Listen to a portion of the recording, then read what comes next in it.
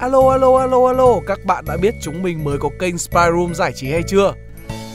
Đây là một dự án mới toanh của nhà nhện, tập trung vào các nội dung chất lượng về sách, truyện, phim, game, manga, anime và vô vàn hoạt động giải trí khác, vừa thú vị lại còn hấp dẫn và cực kỳ độc đáo.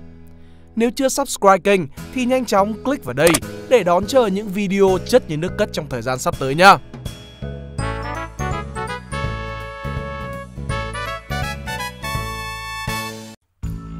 Đây là bài viết Làm gì để khỏi ấm ớ khi đến những nơi bạn chẳng quen ai của tác giả Nga Levy. Còn mình là Khánh Linh, chúng ta cùng bắt đầu nhé.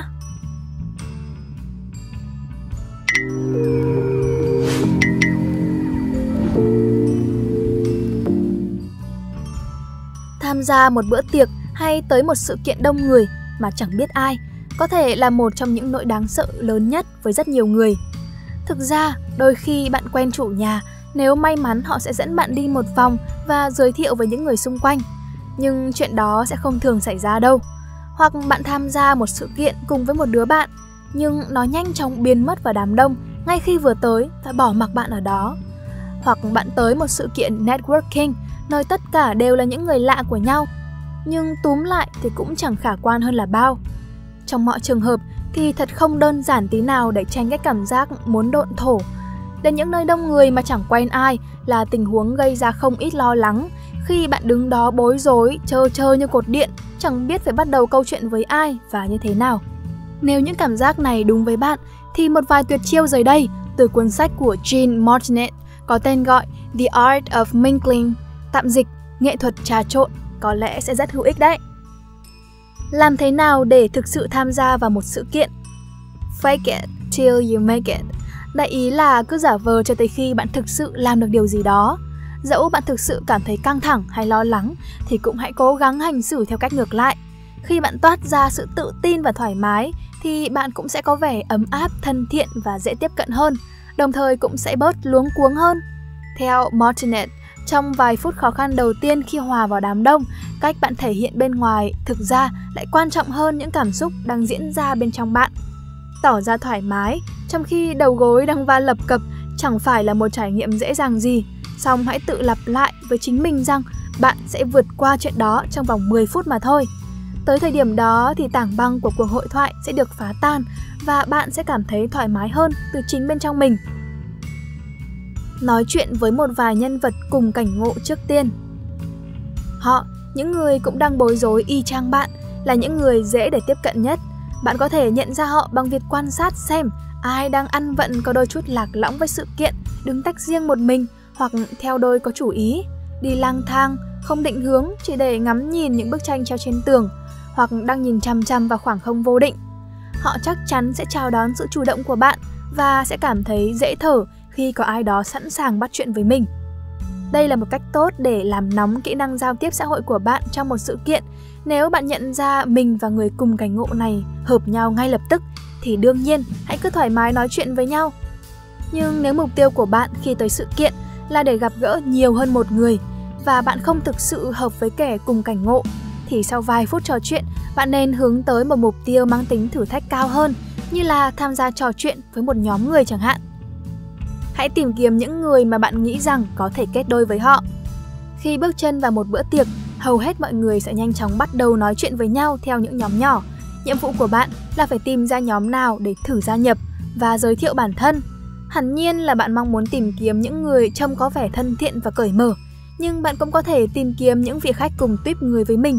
Bản năng của bạn sẽ mách bảo bạn rằng liệu một ai đó có phải kiểu người phù hợp với bạn hay không hãy thử tìm kiếm cả những nhóm đóng và mở. Một nhóm đóng sẽ gồm những người đứng gần nhau, đôi khi tựa vào nhau và say sưa trò chuyện. Những vòng tròn người này sẽ không chỉ khó gia nhập bởi khoảng cách rất hẹp giữa những thành viên mà còn bởi việc tham gia của bạn rất có thể sẽ phá đám cuộc hội thoại đang hồi gay cấn. Tệ nhất là có thể dẫn tới một khoảng lặng khó xử. Thậm chí, một vài người trong nhóm còn có thể cảm thấy hơi khó chịu khi việc bạn chen vào đã phá hỏng khoảng thời gian vui vẻ của họ. Thay vì cố thực hiện một thử thách tham gia trò chuyện trong một nhóm đóng, hãy tìm một nhóm mở hơn. Những thành viên của các nhóm này không quá thân thiết, cuộc nói chuyện cũng nhẹ nhàng hơn và ngay chính các thành viên của nhóm cũng có thể đang tìm kiếm các cơ hội trò chuyện khác. Việc bạn gia nhập những nhóm kiểu này sẽ dễ dàng hơn và không tạo ra một sự phá đám đáng kể nào. Tiếp theo là số lượng người. Những nhóm nhỏ khoảng 2 đến 3 người là cái loại khó tham gia nhất. Sự xuất hiện của bạn sẽ rất đáng chú ý và khả năng cao là bạn sẽ tạo ra một tình huống pha đám không mong muốn. Gia nhập một nhóm đông người hơn sẽ là một sự lựa chọn đơn giản hơn bởi bạn sẽ có nhiều sự lựa chọn hơn dù sự xuất hiện của bạn sẽ ít nổi bật hơn. Song cơ hội bạn có được một ai đó trong nhóm để ý tới, bắt chuyện sẽ cao hơn. Ngay cả khi không ai nhận ra sự có mặt của bạn thì đó cũng là một cơ hội tốt.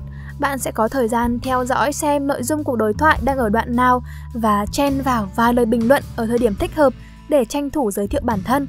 Và ngay cả trong trường hợp bạn nhận ra nhóm này không thuộc gu của mình, cũng dễ để đánh bài chuồn hơn. 4 cách để gia nhập một nhóm người Khi bạn đã chọn được một nhóm mình muốn tham gia, thì cách bạn nên mở lời và bắt đầu cuộc hội thoại là gì? Dưới đây là một vài chiến thuật giúp bạn khởi đầu cuộc nói chuyện. Đưa ra một lời khen. Cách dễ nhất để hòa vào một nhóm người là đưa ra một lời khen cho cả nhóm. Như kiểu là Ô, ở đây mọi người đang có chuyện gì vui vẻ thế? Hoặc một người cụ thể trong nhóm. Nếu bạn quyết định khen một cá nhân, hãy tập trung vào thứ mà khiến cả nhóm có thể hùa vào tiếp chuyện. Đặt một câu hỏi. Đây cũng là cách vào đề dễ dàng vì mục đích của nó tương tự như trên, cũng là nhằm lôi cuốn sự chú ý của cả nhóm thay vì chỉ một người. Như kiểu là À, mấy bạn cho hỏi đằng kia có phải thầy giáo X dạy triết trường mình nổi tiếng đa tài đẹp trai đấy không? Hỏi ý kiến cũng luôn luôn là một cách hay để khởi đầu một cuộc trò chuyện. Như kiểu là Mọi người có thấy món tráng miệng ở đây hôm nay ngon không? Tham gia vô tình như thể một người qua đường Vờ đứng không liên quan bên ngoài một vòng tròn đang trò chuyện, cố gắng đừng để bị chú ý, lắng nghe xem họ đang nói gì, rồi bất chợt buông lời bình luận vào thời điểm hợp lý. Đừng ngần ngại và quá lịch sự, điều đó sẽ khiến mọi người thấy bạn giống một kẻ rình mò. Thay vào đó, hãy cứ nói một cách rất tự nhiên, như thể bạn chỉ buông lời bình luận một quan điểm của ai đó. Hãy trò chuyện như thể bạn là một thành viên trong nhóm từ trước. Cuối cùng là cách tiếp cận theo lối chân thành. Đôi khi thì việc tỏ ra thành thật lại là cây sách hoàn hảo nhất cho mọi việc. Ờ, chào mọi người, mình xin lỗi nhưng mà mình không quen ai ở đây cả. Mình là An, có thể cho mình tham gia cùng được không? Việc đó thực tế cũng không hẳn là đáng sợ cho lắm. Trong nhiều tình huống, mọi người sẽ sẵn sàng giúp đỡ bạn thoát khỏi tình trạng bối rối và giúp bạn tham gia vào cuộc trò chuyện. Vậy thì nên chọn phương án nào?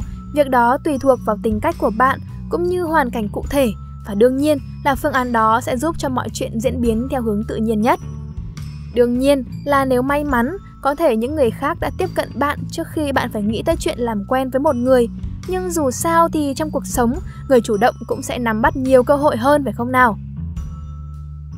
Hy vọng rằng các bạn sẽ thích video lần này. Đừng quên like, share và subscribe ủng hộ chúng mình. Và nếu các bạn thích những nội dung như trên thì hãy đăng nhập vào spiderroom.com để tìm đọc thêm nhé. Và mình là Khánh Linh. Bye!